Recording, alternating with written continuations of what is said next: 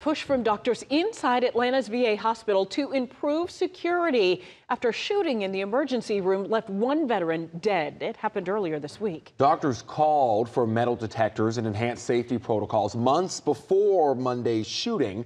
Now they're urging leadership to listen to them. Atlanta News First reporter Patrick Quinn joins us live at 5 from outside the VA with the latest. Patrick.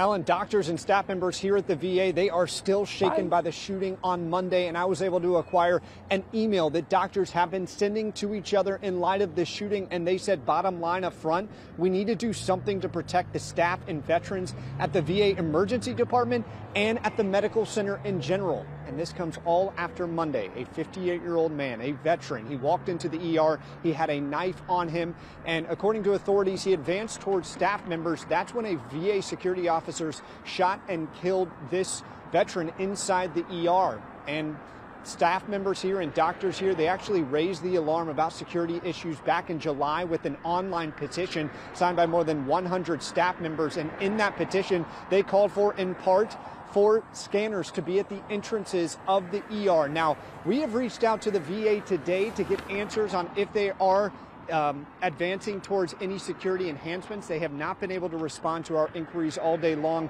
One of the final things that these doctors wrote, they said, had our recommendations for weapons detectors been instituted, this veteran would still be alive. We're going to continue following the issues here at the VA in Atlanta. Outside of that VA Medical Center, Patrick Quinn, Atlanta News First. Live.